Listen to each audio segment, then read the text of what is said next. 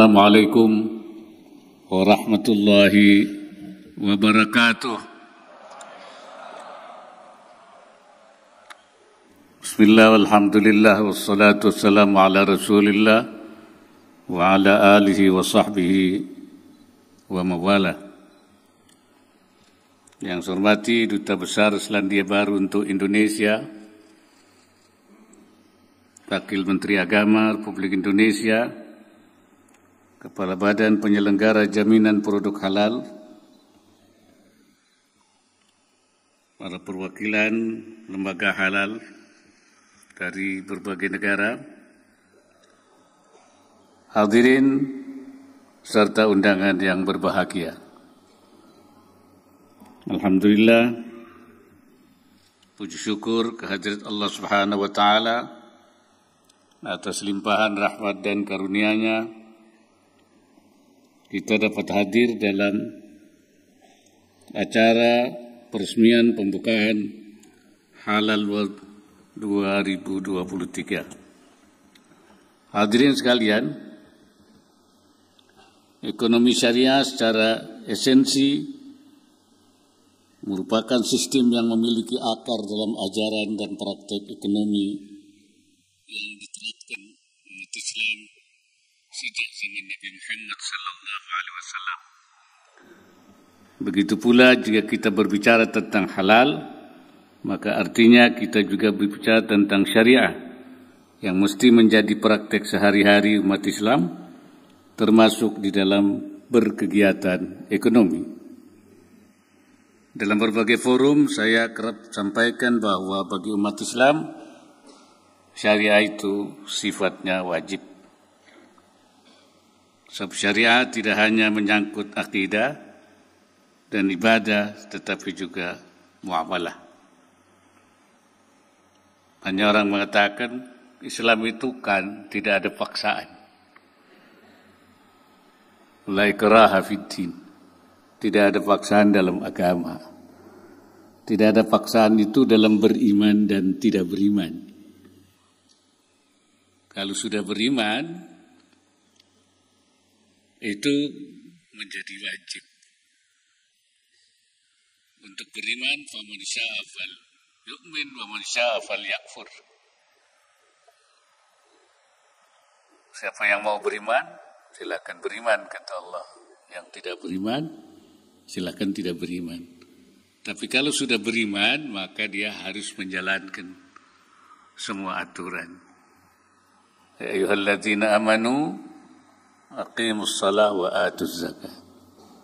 Wahai orang yang beriman, dirikan salat, tunaikan zakat. Artinya orang beriman itu harus salat dan harus berzakat. Ayyuhalladzina amanu kutiba alaikumus syiyam kama kutiba alal ladzina min qablikum. Orang yang beriman diwajibkan atas kamu puasa. Artinya orang yang beriman itu harus puasa. Amanu la ta'kulu ambalakum bainakum bil batil. Ya orang yang beriman, kamu jangan makan harta saling makan harta dengan cara yang batil.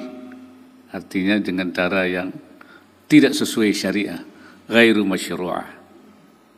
Begitu juga kita disuruh memakan yang halal dan thayyiban, yaitu makanan yang halal. Itu karena itu maka ini menjadi sesuatu keharusan. Namun ekonomi syariah yang dijalankan juga mesti tetap dia adalah bersifat inklusif, yaitu rahmatan lil alamin untuk semua orang, yaitu membawa rahmat dan kebaikan bagi semua yang menjalankannya. Konsep ekonomi syariah menawarkan beragam bentuk kebaikan yang berpijak pada upaya menjalankan kegiatan ekonomi secara inklusif dan adil serta mampu membawa kemaslahatan bagi seluruh umat. Dalam beberapa dekade terakhir, kita menyaksikan bagaimana ekonomi syariah semakin diterima dan dipraktekkan secara luas oleh berbagai kalangan, termasuk oleh negara-negara yang mayoritas penduduknya bukan pemeluk Islam. Indonesia menyadari potensi besar yang dimilikinya sebagai pasar ekonomi syariah karena mayor, mayoritas penduduknya adalah muslim. Namun lebih dari itu, Indonesia ingin menjadi pusatnya ekonomi syariah dan pusatnya produsen halal dunia. Jadi, jadi kita tidak hanya ingin menjadi konsumen, dan tiga konsumen halal. Tidak tidak juga hanya kita hanya menjadi pemberi sertifikat halal tapi juga menjadi produsen halal terbesar Hadirin yang saya hormati, dalam semangat menyebar menyebarluaskan nilai-nilai kebaikan syariah kepada dunia, Indonesia berkomitmen untuk mengembangkan industri halal yang menjangkau semua umat dan bersifat universal dan berkelanjutan. Oleh sebab itu, tugas kita bersama adalah menghadirkan kemudahan-kemudahan agar masyarakat dapat menikmati beragam produk dan jasa yang memenuhi standar halal secara aman dan nyaman. Nah, inilah yang kita lakukan untuk terus memberikan sertifikasi ya sampai kepada juga UMKM. Saya mengajak kita semua untuk terus tingkatkan komitmen dalam menghadirkan kemudahan tersebut. Salah satu hal yang mesti diupayakan bersama yaitu mewujudkan keberterimaan standar halal global. Ini yang penting jadi ada sama standarnya dari seluruh uh, dunia. Penerapan standar halal global semestinya tidak dipandang sebagai hambatan teknis dalam perdagangan antar negara, tetapi justru semakin memperlancar arus perdagangan produk-produk halal ke seluruh pelosok dunia. Sebab kalau halalnya tidak standar, tidak masing-masing tidak mau menerima karena tidak sesuai dengan standar yang di negaranya. Itulah sebabnya. Oleh karena itu, salin pengakuan dan keberterimaan standar halal menjadi sangat penting untuk disepakati bersama guna mendukung kelancaran lalu lintas perdagangan produk halal antar negara. Indonesia terus berupaya membuka kesempatan kerjasama dengan negara-negara lain, khususnya dalam memperkuat salin pengakuan dan keberterimaan sertifikat halal. Menuju tercapainya standar halal global yang membawa kemudahan bagi semua pihak, saya ingin menyampaikan beberapa hal penting. Pertama, jadikan produk halal sebagai komoditas utama global. Saya yakin beragam produk halal yang dipamerkan dalam acara ini baru sebagian kecil dari produk-produk halal yang terbaik yang dihasilkan Indonesia dan juga negara-negara lain. Untuk itu perlu penguatan kerjasama perdagangan antar negara, terutama dengan negara-negara OKI sehingga akan meningkatkan kerja ekspor produk halal masing-masing negara.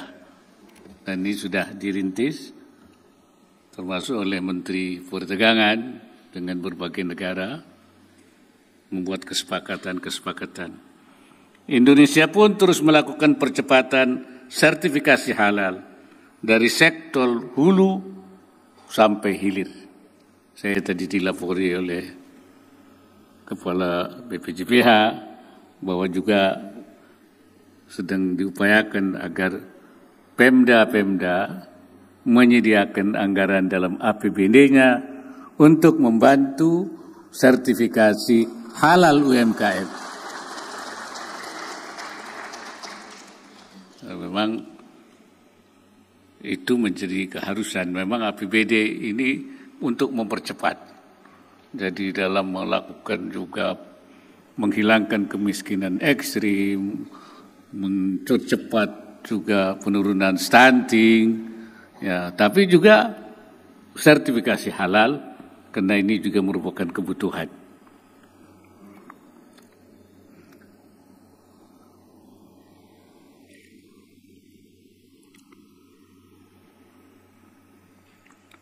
Indonesia terus melakukan percepatan sertifikasi halal dari sektor hulu sampai hilir.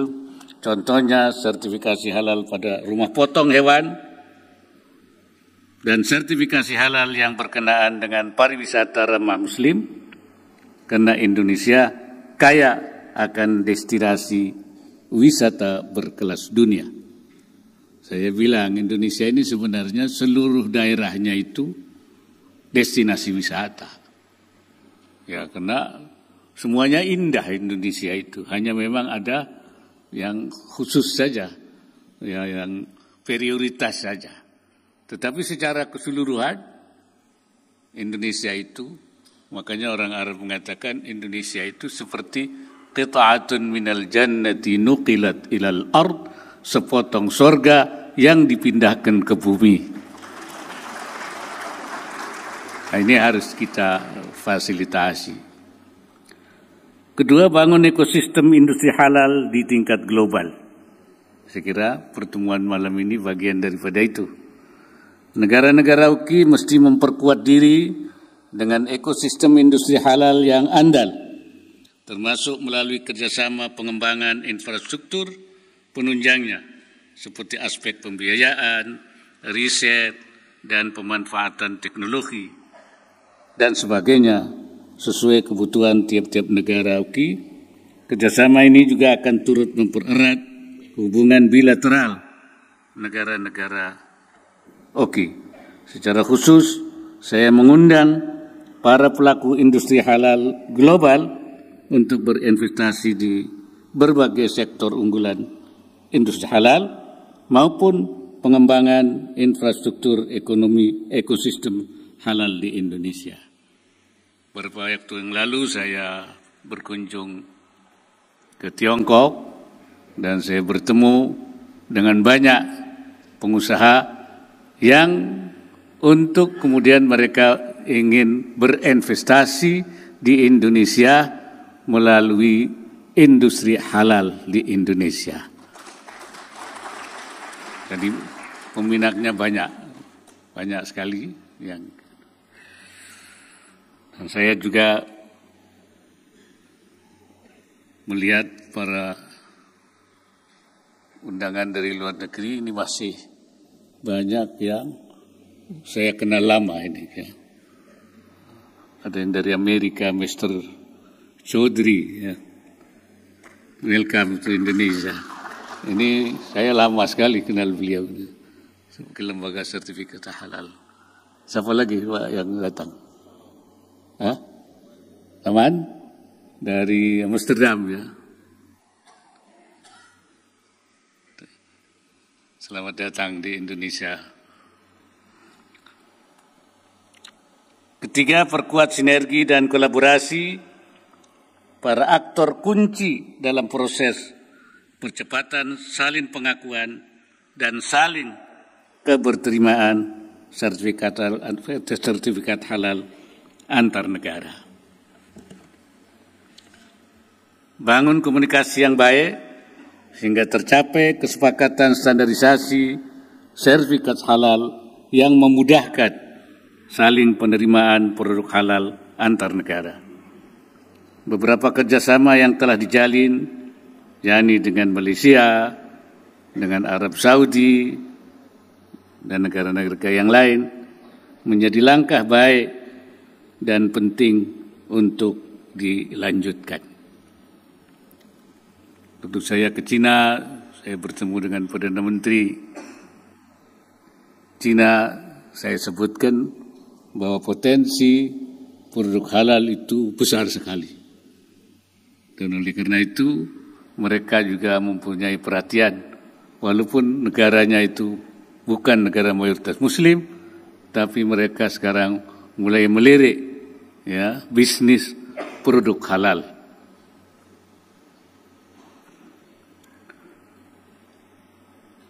Selain itu Indonesia terus meningkatkan kualitas dan kuantitas lembaga pemeriksa halal sebagai pengaudit produk halal.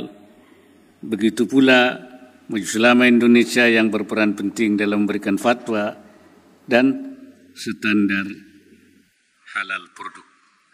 Saya terus mengingatkan bahwa kita memang harus mempercepat sertifikat halal tetapi harus tetap jangan sampai mengabaikan aturan-aturan standar halal. Sebab sertifikat halal itu artinya garansi.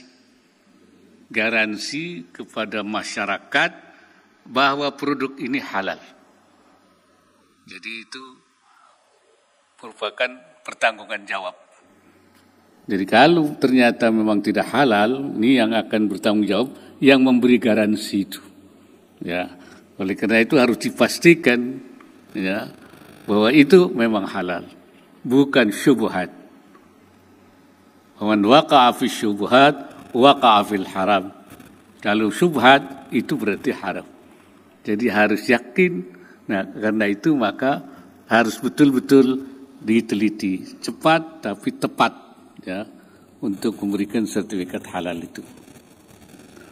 Bangun keyakinan dan kepercayaan masyarakat bahwa produk-produk yang dikonsumsinya memenuhi standar halal dan tayyib.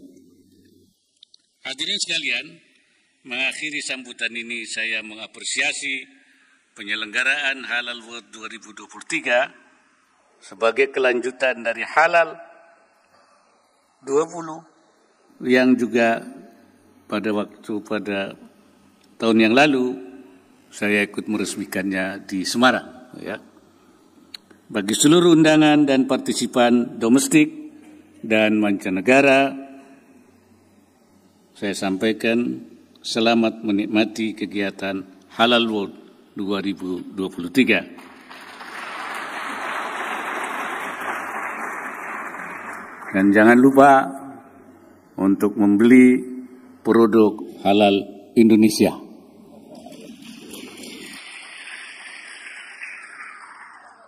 Dan mencicipi makanan halal Indonesia. Katanya enak-enak itu kan. Ada ayam betutu, ada gado-gado siram Jakarta, ya, dan lain sebagainya ya, dengan cat cita rasa khas Indonesia. Akhirnya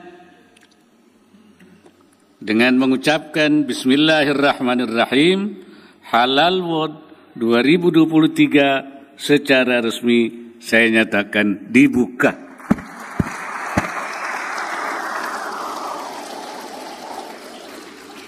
Semoga Allah Subhanahu wa taala senantiasa memberikan inayahnya dan meridai setiap ikhtiar yang kita lakukan.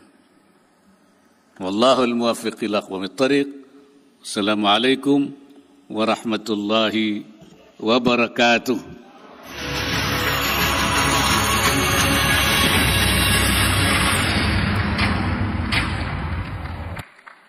Dimohon Bapak Wakil Presiden berkenan untuk kembali ke tempat duduk.